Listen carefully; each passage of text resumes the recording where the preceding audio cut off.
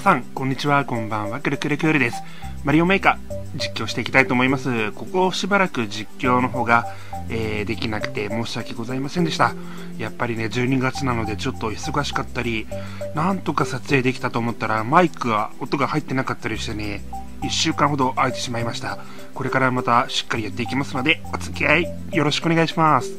というわけで、いいねランキングの難しいから、パウをブラパに届けよう、クリスマススピードラン30秒、YSR さんのコース、クリア率は10%、ベストクリアタイムは26%遊んでいきましょう。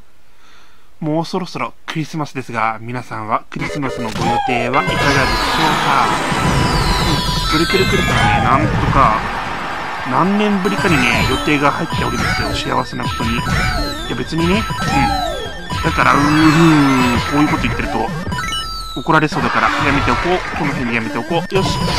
このまま進んで一発ゴールしてやるぜ。こういうこと言ってるとね、扉を通り過ぎたり、タイムアップになっちゃったりして、クリアできなくて、みんなに、いい気がでくるくるくるめ、この野郎って言われちゃうからね。あんまりそういうことは言わないようにしておこう。残り1秒。畜生めいカーブを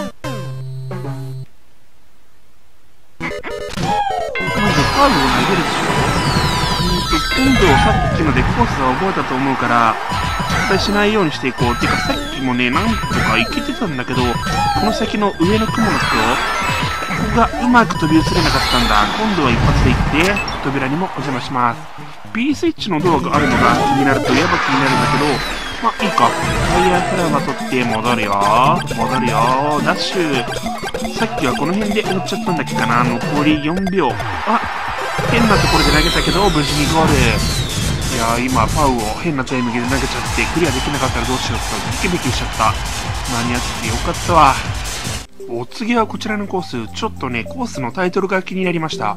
ボス戦サンプル、中古品、ホーミングドッスン、K さん。ベストクリアタイム49秒、クリア率は6.5%遊んでいきたいと思います。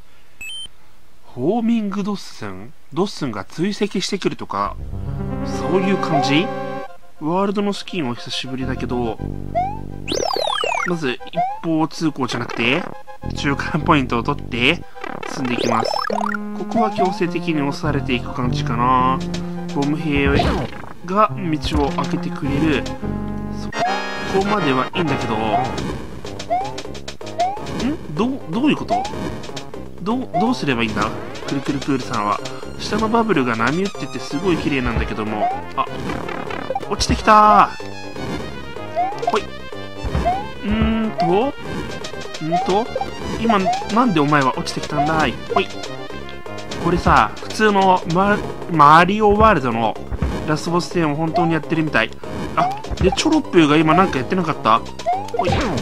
ドキャンって今一発ダメージを与えられたけど、こうやってちょっとずつダメージを与えていけばいいのかな。ボム兵もっていっぱい降らせてほしいな。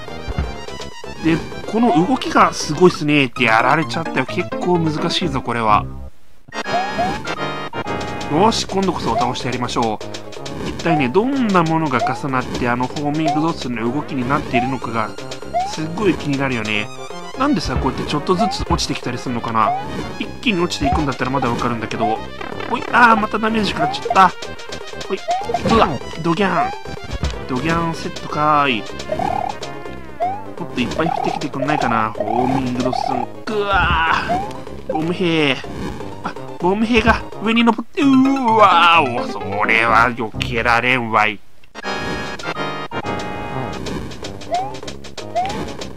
さてさて、3度目の正直でございますが、まずこのコースで攻略する第一の要、クッパへの攻撃方法。そしてこのドッスンの避け方。これを気をつけないと。かボム兵がね、降ってくる数が少ないから、できるだけ確実に突破に当てていかないといつまでたっても倒せない。で、ドッスンが落ちてくるときは、やや下に落ちてくる。それを見極めていく。よし。よいしょ。こんな感じで、ちょっとずつダメージを与えていく。本当にちょっとずつだな。マリオワールド、えー、あの時のクッパ戦に似てるけど、今回はクッパクラウンじゃなくて雲に乗ってるね。で、あの時はクッパまた色々投げてきてたね。あんまり覚えてないけど、それよりもだいぶ難しい。どっちに入ってもいいのかな？なんだなんだなんだなんだ。なんだなんだ。さっきまではこの下のところで戦ってたのかな？土管に入ったらもうゴールだと思うけども。やったぜ今度はクッパクラーになったクッパがいた。バイバイキーン。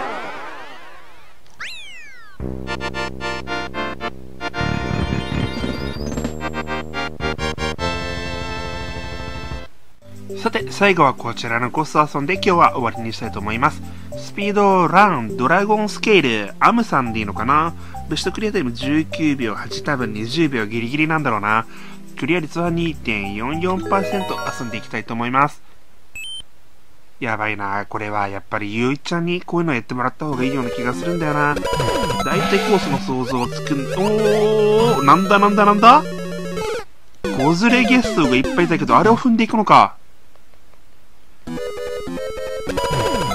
はいいんだよね、多分ね。どんどん踏んでいくんじゃないの？あれ？タイミングがずれてるの？えー、どうなっとるんだい？つ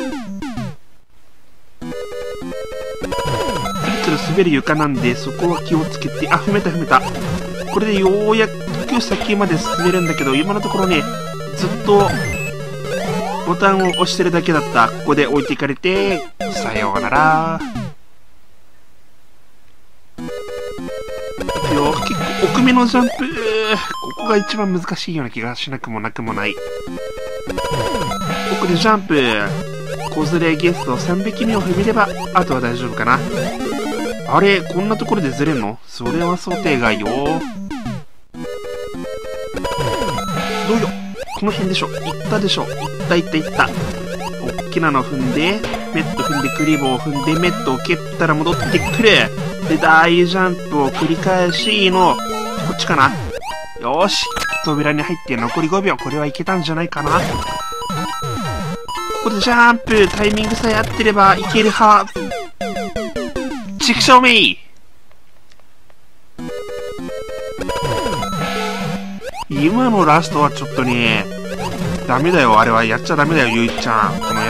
この野郎、畜生メイ。すべてはゆいちゃんが悪いんだ。うん、そういうことだ。よいちゃんが、やるから、くるくるクールさんがクリアできないんだ。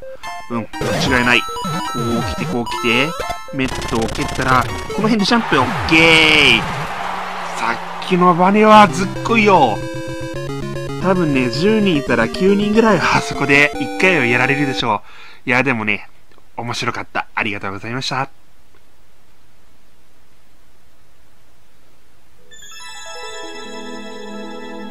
スピードラン、ドラゴンスケール、アムさんのコースありがとうございます。というわけで今日はこの辺で終わりにしたいと思います。また次回の動画でお会いしましょう。チャンネル登録まだの方よろしければチャンネル登録していってくださいね。それでは次回はあなたのコースにキルキルクール。バイバーイ。